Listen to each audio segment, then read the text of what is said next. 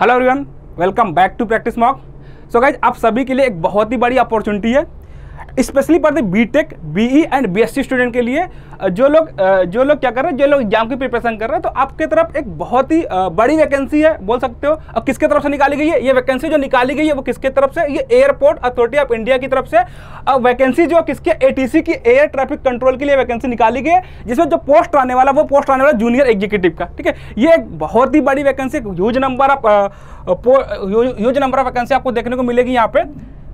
तो अगर मैं बात कर इस जो वैकेंसी की, ठीक है, मैं इसमें इस वीडियो में आपसे डिस्कस करने वाला हूँ, क्या टोटल नंबर ऑफ़ पोस्ट कितना रहने वाला है, ठीक है, क्या एलिजिबिलिटी क्राइटेरिया क्या रहने वाला है, ये सारी बातों की चर्चा मैं इस वीडियो में करने वाला हूँ। तो सबसे पहले मैं आपको बता दूँ कि ये जो पोस्ट है, वो किसका पोस्ट आपके पास जूनियर एग्जीक्यूटिव का पोस्ट निकल के आएगा, ठीक है?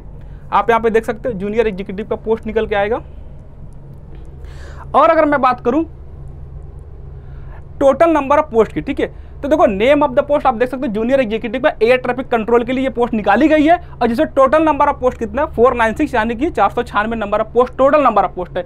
जिसमें से जनरल के जो टोटल नंबर ऑफ़ पोस्ट है, कितना? वन डबल नाइन है, ठीक है? आप देख सकते हो जनरल के टोटल नंबर ऑफ़ पोस्ट कितना है? वन डबल नाइन है। और यहाँ पे ई के लिए मेंशन है 49 है ओबीसी के लिए नॉन क्रीमिलियर ठीक है? ओबीसी में नॉन क्रीमिलियर के क्रीमिलियर के कितना नंबर है? 140 है एससी के लिए 75 है और एसटी के लिए टोटल नंबर ऑफ़ पोस्ट है 33 है। यानी कि टोटल चार सौ छियानवे नंबर ऑफ़ पोस्ट पे रिक्रूटमेंट होना है और ये जो वैकेंसी है, ये किसके तरफ़ से रिलीज़ की है? ये रिलीज़ की है डबल एआई की तरफ़ से, यानी कि एयरपोर्ट अथॉरिटी ऑफ़ इंडिया की तरफ़ से। मैं बता दूँ आपको एक बार, बहुत अच्छे से मैं बता दूँ कि ये बहुत ही अच्छी, अगर मैं डबल एआई की बात करूँ, सर, अपने आप में एक मिनी रत्ना कंपनी है। और इसमें जो जॉब करने का एक्सपीरियंस है ना, वो अपने आप में बहुत ही इनक्रेडिबल एक्सपीरियंस आप बोल सकते हो, क्योंकि यहाँ पे जो जॉब करने का एक सैलरी पैकेज है, वो भी बहुत हैंडसम सैलरी है। इन सारी बात का भी मैं डिस्कशन करने वाला हूँ। तो सबसे पहले मैं बात करता हूँ नंबर ऑफ़ पोस्ट आप देख सकते हो, चार सौ छियानवे। और अगर मैं बात करूँ, क्या यहाँ पे मेंशन है कि पोस्ट कोड कितना, ज़ीरो ज़ीरो वन है, ठीक है? आप ये देख लो, उसके बाद मैं बात करूँ क्वालिफिकेशन की, ठीक है? नंबर ऑफ़ पोस्ट तो चार सौ छियानवे गए। क्या मिनिमम क्वालिफिकेशन नेसेसरी इस पोस्ट के लिए? आप यहाँ पे देख सकते हैं, यहाँ क्लियरली मेंशन है। तो यहाँ पे जो एजुकेशनल क्वालिफिकेशन होना चाहिए, आपका क्या होना चाहिए? Full time regular bachelor's degree of three years in science क्या होगा इसका मतलब बीएससी में विद फिजिक्स एंड मैथमेटिक्स आप बोल सकते हो क्या होना चाहिए? आपके पास बीएससी होना चाहिए, ठीक है? बीएससी होना चाहिए किसमें फिजिक्स या फिजिक्स या फिर मैथमेटिक्स में, ठीक है? फिजिक्स या फिर आपके बोल सकते हो मैथमेटिक्स में क्या होना चाहिए? फिजिक्स या मैथमेटिक्स में आपके पास क्या होना चाहिए? बीएससी होना चाहिए उसके बाद आप देख सकते हो, या फिर आपके पास क्या हो full time regular bachelor's degree अब बैचलर्स डिग्री में आपके पास हो जाएगा in engineering in any discipline physics and mathematics should be subjects in in any one of the semester curriculum मतलब क्या हो गया? मतलब ये है कि सर आपके पास बीटेक की डिग्री होनी चाहिए या तो फिर अब बीटेक में भी आपके पास मेंशन है यहाँ पे कि सर आपके पास फिजिक्स या केमिस्ट्री फिजिक्स या फिर मैथमेटिक्स ये क्या होना चाहिए? आप किसी न किसी सेमेस्टर में आपका फिजिक्स और मैथमेटिक्स होना चाहिए होना चाहिए, ठीक है? और मेरा मानना है कि आप इंजीनियरिंग किसी भी किसी भी ब्रांच में चले जाओ, आपको फ़र्स्ट ईयर में आपको फ़र्स्ट ईयर में स्टार्टिंग के फ़र्स्ट एंड सेकंड सेमेस्टर में आपको फिजिक्स और मैथमेटिक्स ये दोनों सब्जेक्ट आपको देखने को मिल जाएँगे। इसका मतलब सिंपल से ये समझो कि अगर आपने बीएससी कर रखा है तो भी आप इस पोस्ट के लिए एलिजिबल हो, बट आप ये देखना ना, फिजिक्स और मैथ क्या होना चाहिए? फिजिक्स और मैथ में बीएससी होना चाहिए।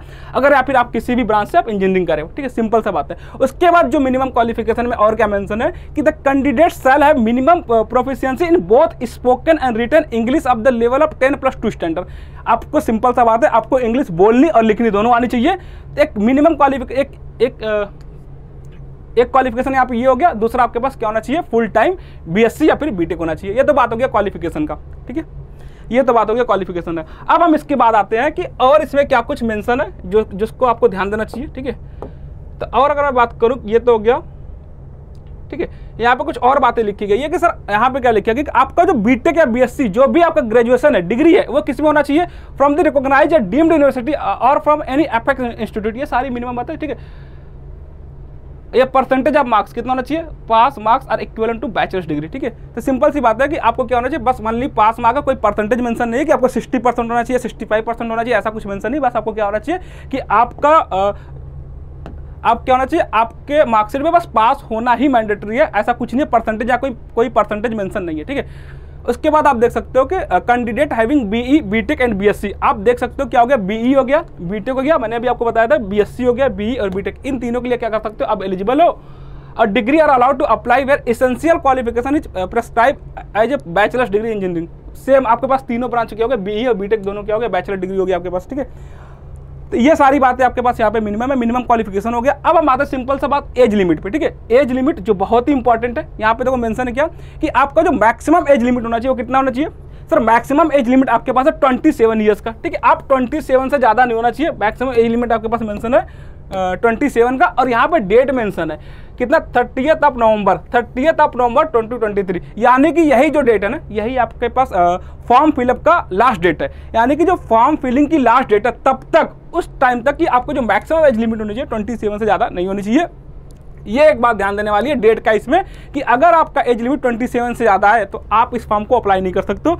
बाकी अगर आप देख सकते हो रिलैक्सेशन एज भी आपको मिल जाएगा। बाकी सभी सभी एग्ज़ाम की तरह कि कितना मिलेगा? फाइव ईयर कितना? एस सी टी के लिए फाइव ईयर है और थ्री ईयर्स कितने के लिए? ओबीसी के लिए। ओबीसी में भी कैसा नॉन क्रिमिलियर के लिए, ठीक है? तो आपके पास एज रिलैक्सेशन है कितने का? पाँच साल का एस सी और एस टी के लिए, तीन साल का मिल जाएगा ओबीसी के लिए। बाकी आप देख सकते हो पी पी के लिए कितना हो जाएगा? आपके पास टेन ईयर का है, ठीक है? तो ये तो बात हो गया एज एज रिलैक्सेशन जनरल के लिए कितना? ट्वेंटी सेवन ईयर है। ठीक है? तो ये एक बात है एज रिलैक्सेशन को लेके। बाकी अगर मैं बात सबसे इंपॉर्टेंट पॉइंट है यहाँ पे, ठीक है? आप देख लो, अब ये क्या है कि जो डबल एआई की जो वैकेंसी ओपन होनी है, वो कब से होनी है? फॉर्म फिलिंग का जो डेट है, वो कब से ओपनिंग डेट इसका क्या ओपनिंग डेट है फ़र्स्ट ऑफ़ नवंबर है। और ये पूरा एक महीना आप क्या कर सकते हो? पूरे फॉर्म को फिल कर सकते हो। यानी कि जो इसका लास्ट डेट है, वो कितना है? थर्टी ऑफ़ नवंबर रहने वाला है, ठीक है? तो ये बात हो गई कि सर डेट की, ठीक है, कि आपका जो फॉर्म फिलिंग की डेट स्टार्ट होना है, वो कब कब से स्टार्ट होना है? फ़र्स्ट ऑफ़ नवंबर से, और जो लास्ट डेट है कितना? थर्टी ऑफ़ नवंबर है, ठीक है? उसके बाद अभी इसका जो एग्ज़ाम होगा ऑनलाइन मोड में होगा बट अभी तक इसका कोई डेट मेंशन नहीं है। तो डेट अभी अनाउंस नहीं हुआ बट आप मान के चल सकते हो कि इसका जो एग्ज़ाम डेट है ना, आप दिसंबर तक, आप दिसंबर के फ़र्स्ट वीक में या फिर दिसंबर के सेकेंड वीक में इसका एग्ज़ाम मान के चल सकते हो कि दिसंबर के फ़र्स्ट वीक में इसका एग्ज़ाम कंडक्ट करवा लिया जाएगा, क्योंकि देखो डबल एआई का अभी तक का जो हिस्ट्री रहा है ना ये बहुत ही कम टाइम में अपने सारे प्रोसेस को कंप्लीट करवा लेता है। मतलब कि अगर मैं बोलूँ कि अगर एग्ज़ाम डेट कितना थर्टी ऑफ़ नवंबर तक लास्ट डेट फॉर्म फिलिंग के लास्ट डेट है तो बहुत ज़्यादा चांस है कि उसके बाद बहुत जल्दी क्या करवा लेंगे, ये अपना एग्ज़ाम भी कंडक्ट करवा लेंगे। ठीक है, अब अब जो सबसे इंपॉर्टेंट बात है पे स्केल की, ठीक है? जो पे स्केल आने वाला जूनियर एग्जीक्यूटिव के लिए कितना ग्रुप बी का इवन लेवल में जो पे स्केल है, कितना फोर्टी थाउज़ेंड से लेके कितना फोर्टीन लैक्स तक है। ये पर एनएम की बात है, ठीक है? उसके बाद मैं बोल दूँ कि यहाँ पे, ठीक है, ये सारी बातें होगी बाकी आप देख सकते हो, यहाँ पे सेम वही बात है इंपॉर्टेंट इंस्ट्रक्शन में age and age and all other eligibility criteria shall be record as the thirty of November ठीक है? तो ये फॉर्म आपको क्या करना है? देखो, बहुत ही अच्छी वैकेंसी है, आप इसको फिल कर सकते हो। अगर आपने बीटेक कर रखा है या फिर बीएससी हो, ठीक है? बीएससी किसमें फिजिक्स और मैथ में। तो ये फॉर्म आपको क्या करना चाहिए? बिल्कुल फिल करना चाहिए। और क्योंकि अगर मैं सैलरी की बात करूँ इसमें आपके पास टोटल फोर्टीन एल के आसपास आपका जो सैलरी यहाँ पे निकल के आती है। और मेरा मानना है कि जेई के लिए जेई पोस्ट के लिए ये बहुत ही हैंडसम सैलरी है। ठीक है? इतनी सैलरी आपको किसी और डिपार्टमेंट में देखने को शायद ना मिले। ठीक है? तो ये एक ये एक नोटिफिकेशन हो गया किसके लिए? डबल एआई के लिए। और अब मैं बात करूँ कि अगर अब, जैसा कि मैंने आपको बताया कि ये जो एग्ज़ाम है ना, ये इसके पहले जितनी बार भी ये एग्ज़ाम हुआ है ना, बहुत कम टाइम में मतलब आप बोल सकते हो कि अभी आपके पास थर्टी ऑफ़ नवंबर को इसका एग्ज़ाम डेट फॉर्म फिलिंग का डेट खत्म होगा और उसके बाद दिसंबर के चांस है दिसंबर में आपसे एग्ज़ाम एग्ज़ाम करवा लिया जाएगा। तो अब आपके पास बहुत कम टाइम है। इसीलिए हमने क्या किया? आपके लिए देखो अब आपको करना क्या? अब आपको अभी से अभी से आपको एग्ज़ाम की प्रिपरेशन में लग जाना है।